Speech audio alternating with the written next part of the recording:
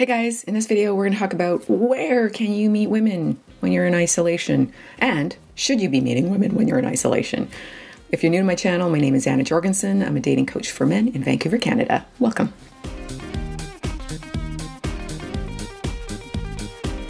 Okay, let's get right into it. Pitfalls of dating when you're in isolation.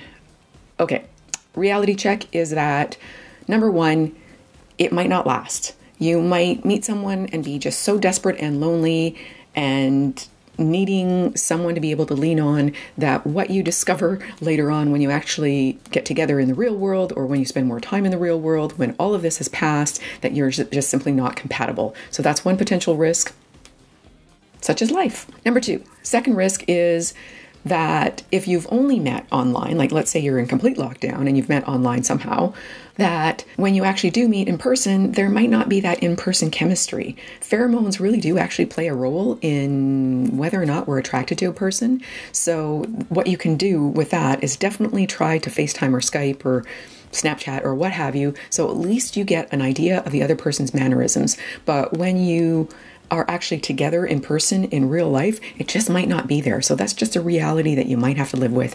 And it happens way more for women not being attracted in person than it does for men. Believe it or not, men are actually more visual than women. So if you see a picture and she actually looks mostly like her picture, or you see her mannerisms or what have you, and you meet her in person, as long as she's somewhat similar, you're probably still going to have an attraction to her, but she may not. It may not be the same for her, and don't take that personally. Sorry, you will, but you shouldn't. Okay. And the third pitfall to dating in isolation is that it's kind of like a long distance relationship.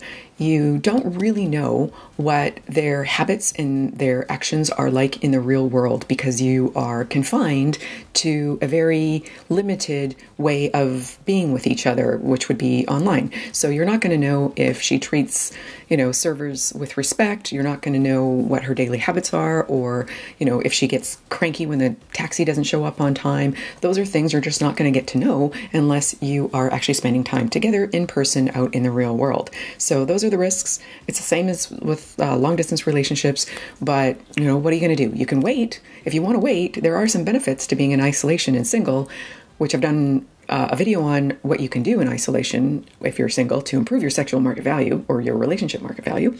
But if you do want to move forward and meet women, how can you meet women in these crazy times? Well, of course, yes, you can meet women online, dating sites and dating apps. The benefit of meeting someone on a dating site or dating app right now is that they might not be someone who normally would be on a dating site or dating app right now. They might be actually a person who meets someone in the real world, and now because that option is not available, then they're actually going online. And oftentimes, the ones who don't usually go online are higher value. Sorry, people who use dating sites a lot. yeah, okay, well, man, I'm just going to stick with that. So, if you go online right now, there's going to be an array of different people who are not usually online online in terms of dating sites or dating apps. Side note, tip for that is to stipulate what you're looking for in a relationship, not with that particular person, but put somewhere in your profile like I'm just into casual. I'm actually really just looking for, you know, potential long-term partner and I'm not into casual. Stipulate what you're actually looking for once you can get back into the real world because that will filter out people who are not looking for the same thing you are. And if you're really brave, then you might also put a little tidbit about your belief systems about what's happening in the world right now. Because while different beliefs and values can potentially match up, a lot of times they don't.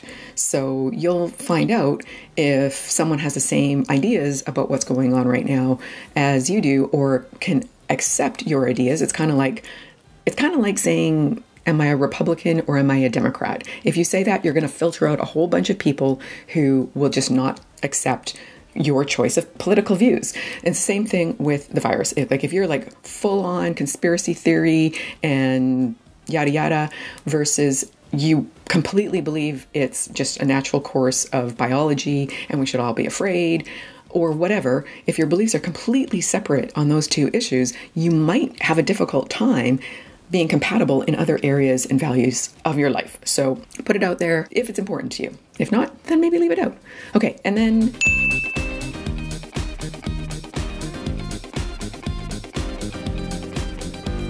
moving on, the third place that you can meet people if you're able to go out is actually out in the real world. You wouldn't even believe like where I'm in Canada, so I'm not in full lockdown. It's just suggested self-isolation, but it's nice out. I go for a walk.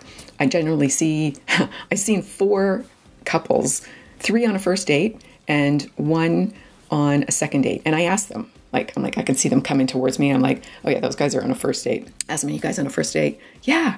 And then I was like, second date. That was a good one because second date, that's pretty tricky. They were like, how'd you know we were on a second date?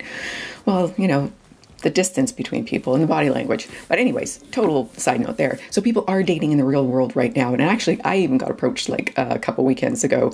I was walking my roommate's dog, and this other guy was walking his dog, and he just started up a conversation. And here's what you'll notice right now is that people are longing for connection because we need connection. That's what we need. So if you are out in the real world and you are allowed to be, of course, then people are more amenable to striking up conversation if they don't have a mask on. What I've learned is the friendliness factor is determined by whether or not they're wearing a mask. Now, they may be, if they're wearing a mask, they may be protecting themselves, they may be protecting you, but in all likelihood, they're less open to meeting someone new right now because they're being careful.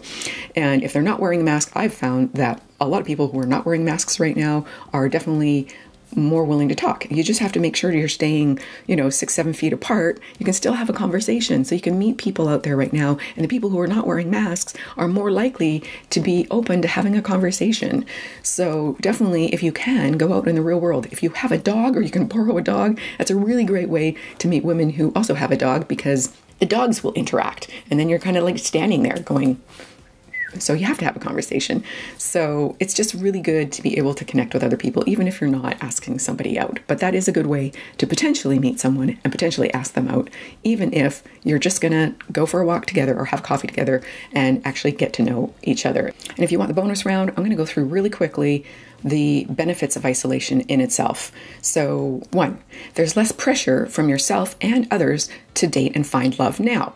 So, awesome, less pressure. Number two, you have time to figure yourself out. Maybe now's the time to find out what has kept you stuck from finding love. Wake up to love. Yeah, I'll leave it at that. Okay, number three, along those lines, it's a great time to stop focusing on finding love and start focusing on self development. Number four, if you do go dating right now, or if you meet someone, or if you choose not to at all and you just want to wait it out, there's no pressure for physical contact. You don't have to stress yourself out about whether or not you should kiss her or touch her. You shouldn't right now. Number five, as mentioned in my other video, you get to know the real person before being influenced by the physical. Number six, in general, you will forever after appreciate what you now take for granted, all our freedoms, you I bet you you're missing those. When we get those back eventually, you will so appreciate that. Number seven, there is a sense of community because we're all in this together and there's sort of a sense of wanting to connect. So it's like now we're allowed to talk to strangers again and they won't be all like, oh, what are you talking to me? Again, if they're wearing a mask, maybe avoid. Number eight. Number eight was the sense of community. I tied that in with the last one. Okay, never mind. Number nine, you have time to catch up on productive and unproductive chores and activities. So it doesn't have to be all about work. And that's actually a really good thing that hopefully we will all take into this once we go back into whatever our normal lives are going to look like after this. That it's not all about striving for more and being productive and using all your time to accomplish things. It's important to balance your life. And number 10, you will learn to live with less because you may have to right now. And that's a good habit to get into so that when you finally do start making money again, hopefully you're not completely destitute and you'll be able to be in the habit already of living within your means, which also allows you to save for a rainy day or a thunderstorm or a freaking whatever this is. So there are benefits. Take advantage. Watch my other video. Watch my video on how to increase your market value by doing stuff at home alone, and comment below because you want to. Thanks.